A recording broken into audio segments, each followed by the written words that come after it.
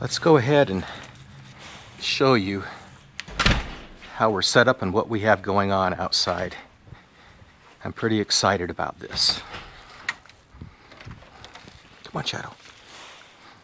We're imaging tonight with the Orion Maksutov Newtonian telescope, a 1000 millimeter focal length, an f uh, 5.3, yep, 5.3, a good fast light bucket.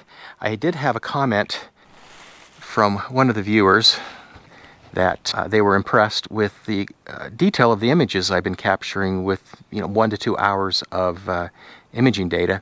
And that's the reason why right there. It's a it's a big light bucket.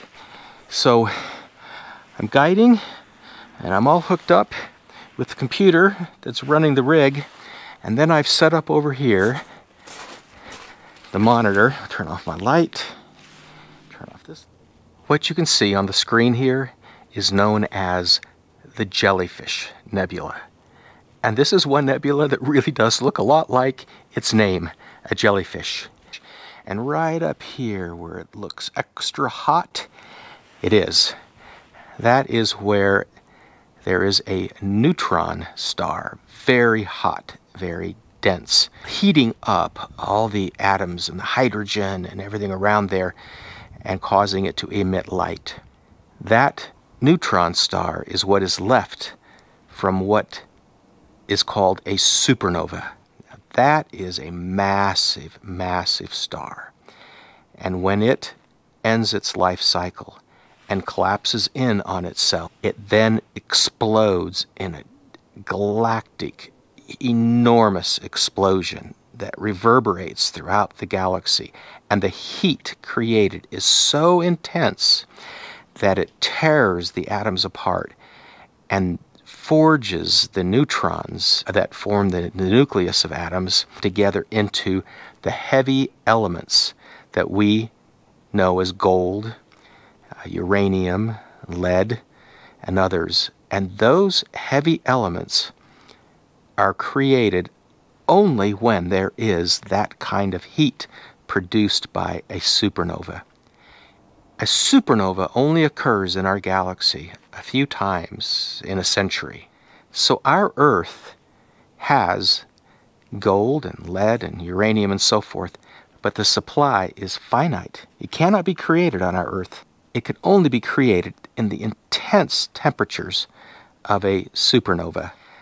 So, what we're really looking at here is a gold factory. Somebody ought to talk to Elon Musk. If he could get SpaceX to figure out how to get to one of these babies, talk about gold mining. There's only about a dozen of these uh, remnants uh, visible uh, in the galaxy. This is one of the most beautiful ones. We're going to let the rig do its thing and we're going to come out and check on it and then I'm going to uh, process this thing and show you the final image. Right now we're at 40 minutes. 40 minutes! I'll point out here that I am shooting with the Optolong L Ultimate filter. It's a great light pollution filter uh, for nebula.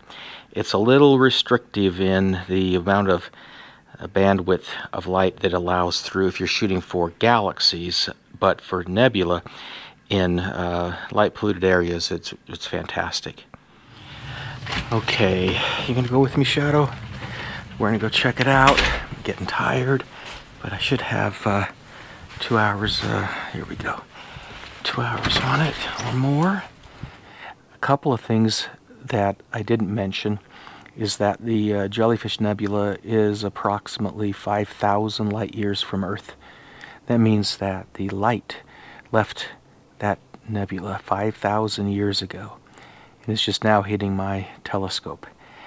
And the explosion, the supernova event, was, uh, from what I read, uh, approximately 30,000 years ago. There was some variation from different uh, sources that I read from, but we'll go with that.